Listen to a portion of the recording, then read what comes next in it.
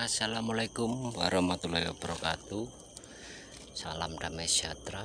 Bumi Astu Namo Buddhaya. Dari Sabang sampai Merauke Jumpa kembali sekarang Tanggal 23 Juli ya. Saya mau memperlakukan uh, teknik seperti infus. Uh, Teman kita, saudara kita sudah mempraktekkan Yang di Kutai Barat.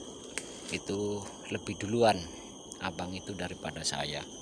Ya karena saya sebenarnya tidak pernah melakukan hal-hal impus suntik-suntik seperti ini ya. Ini bekas saya dan proses saya. Jadi untuk mengikuti para petani meminta untuk membuat konten dipakai infus jenis obatnya saya pakai pemicu getah. Maka maka daripada itu hari ini saya buatlah sistem seperti ini jadi nanti akan kita bandingkan dengan ini sebelum perlakuan teman-teman ya sama punya Bang Rais hasilnya. Ini belum perlakuan ini belum perlakuan masih kosong ya belum ada obat. Coba saya kasih obat apa reaksinya yang obat penemuan yang terakhir ini ya. Kalau yang dipraktekkan sama teman-teman kita yang di grup juga itu yang pertama kali kita temukan memang agak sedikit berbeda cara pembuatannya dan yang saya pakai ini cenderung lebih keras teman-teman. Oke simak videonya. Eh, dan yang sering masih tanya kontak-kontak saya silakan hubungi aja kalau memang mau dibantu dan benar-benar petani ya bukan untuk dijual. Karena saya kemarin sempat lolos satu orang kayaknya hanya modus hanya ingin mengambil serum dan nantinya pasti akan ketahuan berapa bulan kemudian. Ya semoga menginspirasi pagi ini untuk teman-teman kita semua. Semoga bermanfaat dan semangat terus mengikuti channel yang saya buat. Ini salah satu harapan saya supaya kita lebih maju ya para petani garu. Oke teman-teman simak. Ini akan saya isi dulu ya.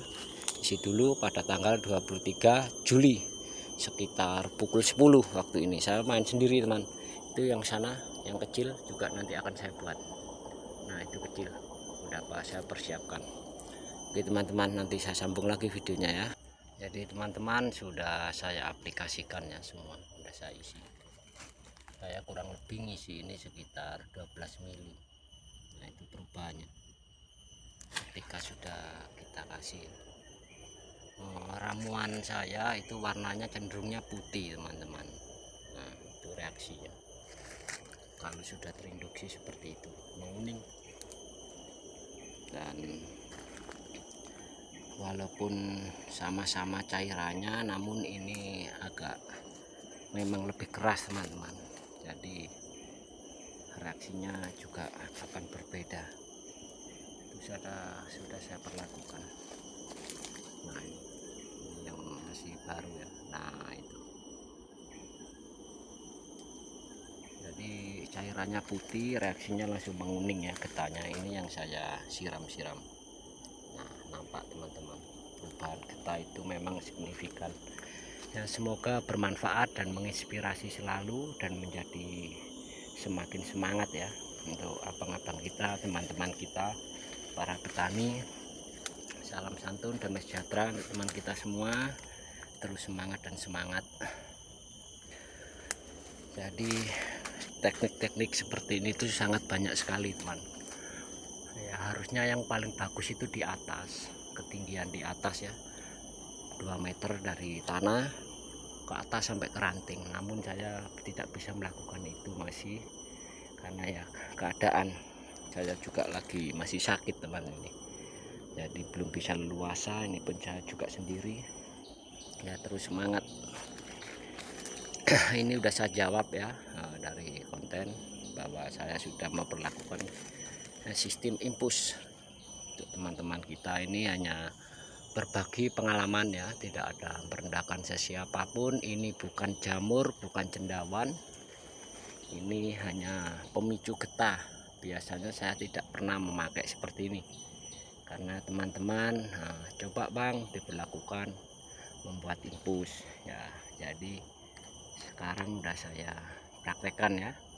Ya mudah-mudahan teman-teman nantinya eh, juga yang sudah belajar membuat obat ini nanti bisa juga berpraktek supaya um, mendapatkan hasilnya juga teman-teman hasilnya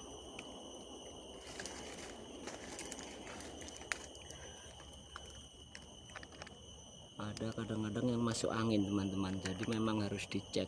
Nah ini. Masuk angin baru saya kembalikan lagi. Dan masuk angin nah, kedap ya karena nah, jadi angin itu tidak nekan. Kalau teknik di Jepang itu berbeda teman. Mereka memakai eh, tekanan. Jadi nanti dengan seiring waktu perkembangan nanti juga akan saya praktekkan memakai tekanan angin. Dikompresi ya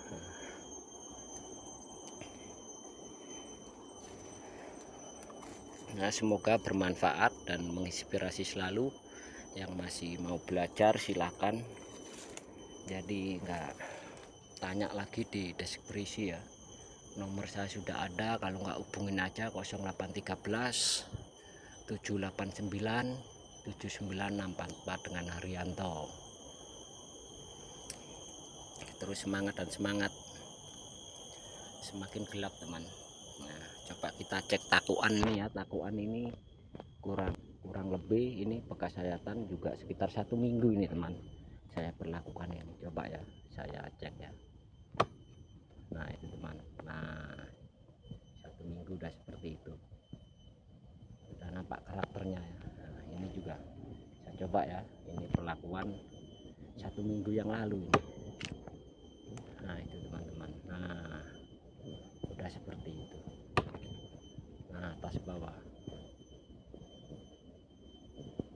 Ya cenderung pemicu getah itu jadinya tebal-tebal teman. Jadi getahnya itu memang endap dan mengumpul. Ini sama juga kita cek yang bawah. Nah juga tebal karakternya nah itu teman seperti itu nah itu jadi nanti kalau pakai pemicu saya ini saya empat bulan enam bulan udah panen teman. Satu tahun takuan bisa panen uh, 2 sampai tiga kali.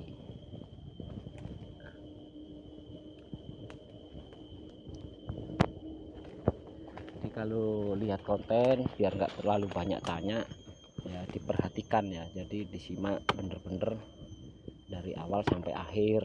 Jadi nyambung apa yang mau ditonton itu kalau nontonnya setengah-setengah ya sulit. Banyak pertanyaan banyak tanya nanti. Saya pun waktunya nggak banyak untuk selalu validasi terus kan. Ya, mudah-mudahan pemirsa yang budiman mengerti lah nah, karena saya itu kerja sendiri semua. Bukan saya cari penghasilan di konten supaya dapat uang di konten. Bukan teman kita juga kerja seperti ini. Memang kita cari penghasilan di Garu. Nah seperti ini teman-teman. Karena saya prihatin dengan banyaknya kegagalan petani-petani kita maka daripada itulah saya buat konten seperti ini dan mau ber, apa membagikan sebuah tip penemuan ini dengan cuma-cuma. Saya tidak pernah memungut biaya teman. Semoga menginspirasi. Nah ini saya udah gerak pun susah teman-teman. Memang sakit saya mas ya saya akhiri dulu ya teman-teman. Semangat terus. Assalamualaikum warahmatullahi wabarakatuh. Salam santun damai sejahtera dari Sabang sampai Merauke. Terus semangat dan semangat